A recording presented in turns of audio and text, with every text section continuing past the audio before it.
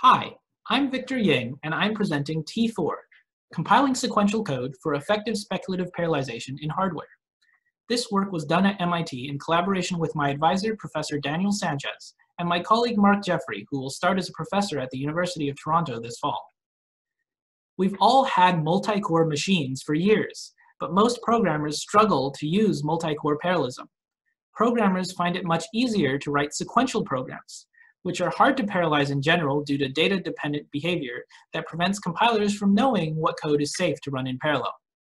To bridge the gap between sequential programs and parallel hardware, we build on recent work in speculative parallelization, which uses new architectural and compiler techniques to parallelize sequential code without knowing in advance what code is safe to run in parallel. We introduced T4, an open source compiler that exploits recently proposed hardware features to achieve effective speculative parallelization. T4 breaks sequential code into trees of tiny timestamp tasks. T4 assigns each task a timestamp to encode sequential program order. Hardware enforces the timestamp order while allowing tasks to be spawned and run out of order. Each task may spawn multiple children out of order, forming a tree of tasks whose branches unfold in parallel for high throughput task spawn. T4 introduces novel compiler optimizations to make these parallel task spawns highly efficient. As a result of these efficient parallel spawns, we can parallelize tasks as tiny as tens of instructions. This fine-grained parallelization creates new opportunities. For example, having tasks that touch as little as one memory location creates opportunities for T4 to schedule these tiny tasks to exploit locality. We evaluate T4 by parallelizing C and C++ benchmarks from Spec CPU 2006. By spawning many tiny tasks, T4 imposes modest overheads to scale these real-world programs to tens of cores, achieving up to 49x better performance than serial code on 64 cores. Before I tell you more about T4, let me quickly give some background on prior work in speculative parallelization. We have now seen a quarter century of work on speculative parallelization, which has often been called thread-level speculation, or TLS for short. The many groups who have worked on TLS have explored diverse architectures and implementations, but they all revolve around dividing the execution of a program into units of work that we will call tasks. These may be the iterations of a loop or calls to functions. A TLS system executes some of these tasks speculatively and in parallel, without knowing in advance if it's safe to do so. The system must therefore use some mechanism to detect dependencies that it has violated and then recover from them with some performance penalty. Unfortunately, as we will see, prior work in TLS performed well in narrow circumstances where dependencies are rare and could not scale beyond a few cores given real-world applications with more frequent dependencies. This is due to the expensive aborts they perform to recover from misspeculation and serializing bottlenecks in their task spawn or commit mechanisms. Now, let me explain this using a simple example. Let's look at how TLS could parallelize the code shown here, which computes a maximal independent set of a graph. Each iteration of the outer loop of this graph algorithm, highlighted in blue, reads and possibly updates the state of a vertex. Notice that the nested inner loop may iterate through neighboring vertices and use indirect memory references to update states of these neighbors, highlighted here in orange we shall consider parallelizing the iterations of the outer loop. So each outer loop iteration is a task. Here, task A will run the first iteration of the loop, but it first spawns task B, which is responsible for running the second iteration of the loop, and so on. Notice that no more than one task is being spawned at a time. This serial manner of task spawns was a common feature in prior TLS systems, where the order in which tasks were spawned and began execution was coupled to the order in the original sequential program. Now, notice that some tasks do manage to run in parallel, such as tasks C and D, but these tasks do not necessarily perform independent computations. Hardware must track memory accesses to discover data dependencies at runtime. For example, task D may read from a location in memory that is later written by task C. This violates a dependence on data through memory. To recover, task D must abort and re-execute. When aborting task D, we undo all its effects, including aborting other tasks that D spawned or passed data to, such as tasks E and F. In general, prior TLS architectures recover from misspeculation by conservatively aborting and re-executing all later tasks across the system, which may often bring a significant fraction of the system to a halt. In this example, after D aborts, all tasks D, E, and F are re-executed as tasks D prime, E prime, and F prime. Thus, a single abort results in unselectively aborting a large number of other tasks, even if those other, other tasks, such as E and F, may have actually been performing independent work. To address this problem, we build on the hardware mechanisms recently proposed in the Swarm architecture. Swarm hardware exposes a task-based execution model. Swarm programs are broken into tasks, and each task must be tagged with a timestamp when it is spawned. Tasks can spawn children tasks with timestamp greater than or equal to their own. Hardware guarantees that tasks appear to execute sequentially in timestamp order. To exploit parallelism, Swarm executes many tasks speculatively and out of order on many cores. It uses distributed mechanisms to detect order violations and recovers by selectively aborting single tasks and only the tasks that were dependent on other aborted tasks. Swarm requires modest changes to a standard shared memory multi-core chip. Specifically, Swarm adds task queuing units distributed throughout the chip so that each core can execute and spawn tasks by communicating cheaply with its nearest task unit. These task units autonomously distribute tasks across the system and allow for hundreds of tiny speculative tasks to run in parallel. Swarm has previously been used for manual parallelization of graph kernels, but in order to allow parallelization of entire programs, it needs a compiler to automate the transformation of sequential code to run in parallel on Swarm. Now, note that when a task aborts, Swarm still aborts all of the task's children, which are dependent tasks. So to exploit Swarm's selective aborts, we cannot construct long chains of tasks as was done by prior TLS compilers.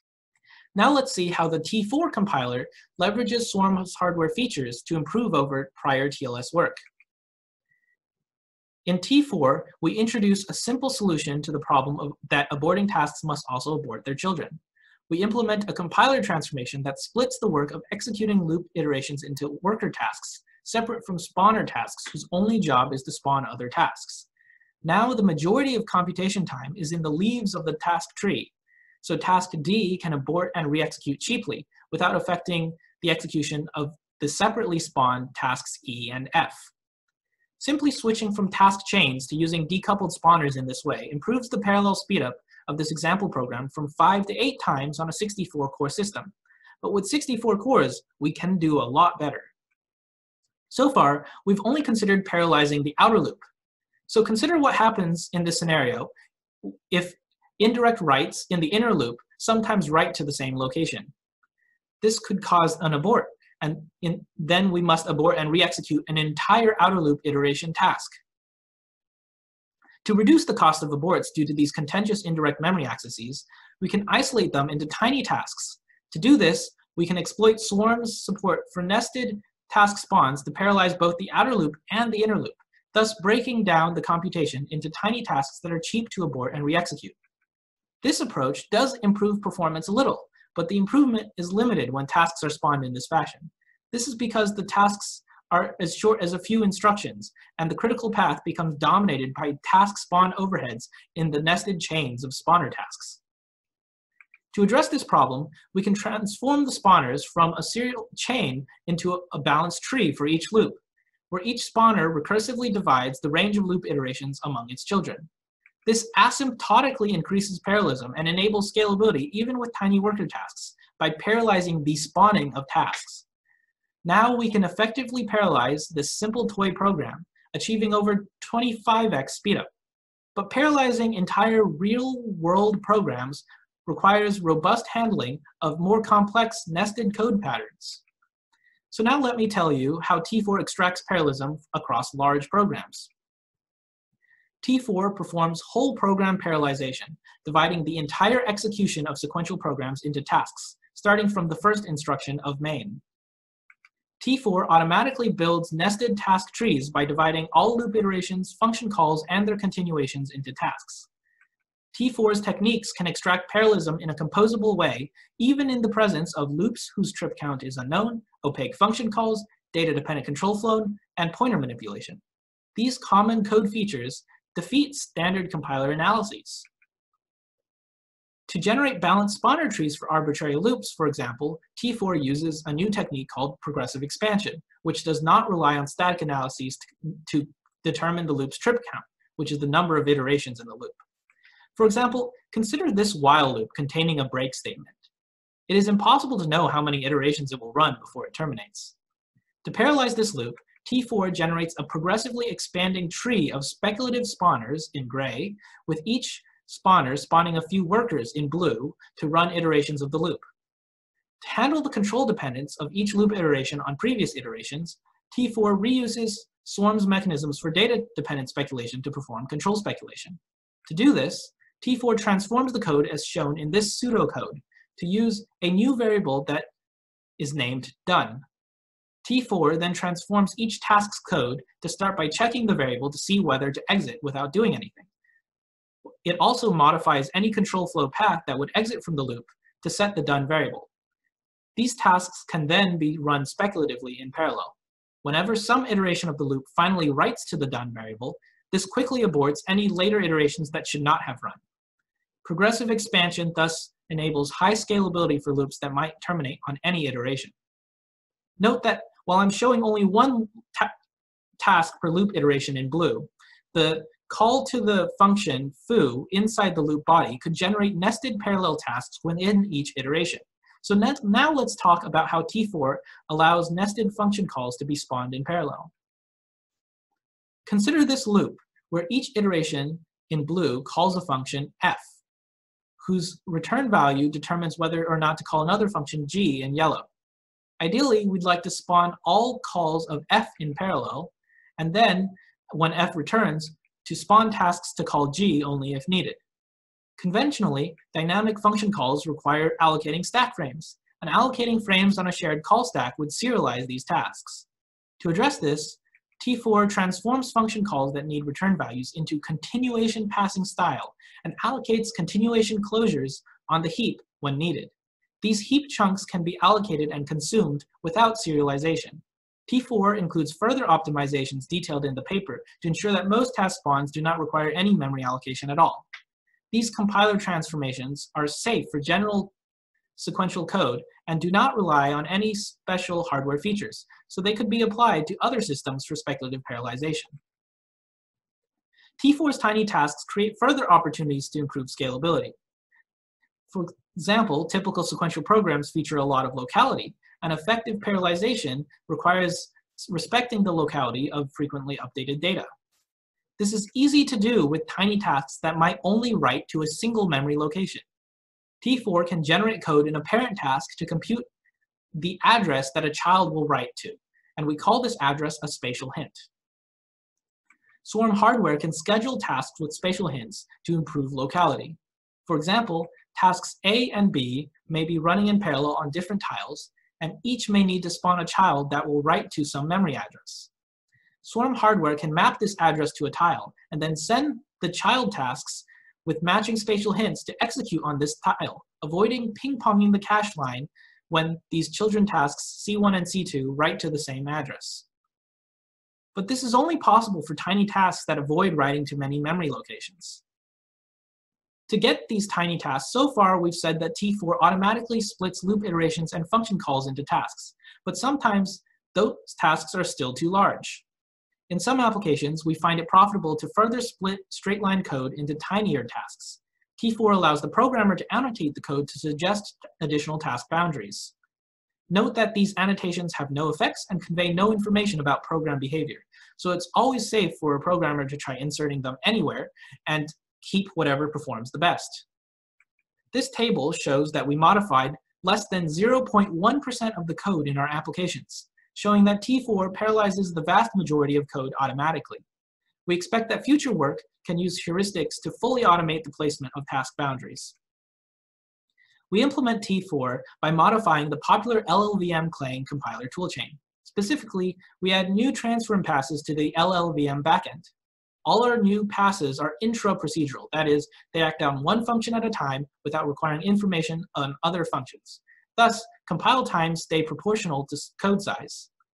T4 is still able to benefit from all the standard optimizations in LLVM, resulting in high quality code generation. The, the paper has more implementation details, such as how T4 generates timestamps using topological sorting, how T4 bundles stack allocations into heap allocations and performs privatization, and how T4 reduces false sharing using loop task coarsening. The paper also presents case studies to detail how we break applications into tasks, and sensitivity studies to show the importance of T4's features. Now let me show you how well T4 performs. We evaluate T4 using cycle-level simulation of systems of up to 64 superscalar out-of-order cores. These event-driven simulations include detailed modeling of an on-chip network and a three-level cache hierarchy. Hardware task units can hold tens of speculative tasks per core, which add up to many hundreds of tasks across the 64-core chip. We evaluate T4 on C and C++ benchmarks from Spec CPU 2006, which prior work found difficult to parallelize. The results I will show depict the performance of T4 relative to running serial code compiled with Clang-O3 on the same hardware. We find that scalability varies widely across applications, so we plot these applications in two groups with different y-axis scales. On the left, we have applications whose hot inner loops have at least some iterations that are independent. T4 uncovers significant parallelism here, scaling some benchmarks linearly, so that LBM, for example, achieves 49 times speedup on 64 cores. Perhaps even more significant, T4 achieves 7x and 5x speedup on Soplex and A-star, respectively, these are applications with frequent dependencies where prior work struggled to even achieve 2x speedup. On the right, we see that T4 finds more limited parallelism in some benchmarks whose hottest inner loops update a single, single scalar variable on every iteration. T4 can isolate the updates to these shared variables into tiny tasks while extracting parallelism from any other available computation.